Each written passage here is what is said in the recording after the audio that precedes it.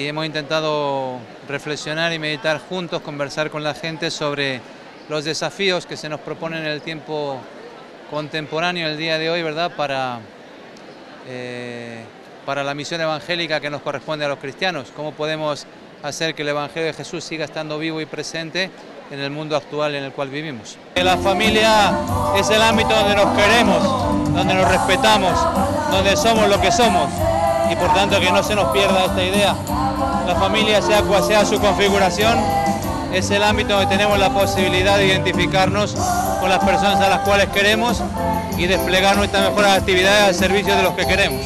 Es importante entonces que, que todos luchemos por esta célula base, ¿no es cierto?, en el cual cada uno logra su identidad y su pertenencia primera, que es la familia, para que esa sea eh, realmente el contenedor a lo largo de todos los procesos vitales que uno va teniendo en su existencia. Ojalá podamos este, también dar una palabra y en aliento y, y, estar cerca de la juventud que hoy tiene enormes desafíos, ¿no? porque tiene que sentir una motivación muy grande para, para luchar por sus estudios, para poder no bajar la esperanza de tener un futuro mejor.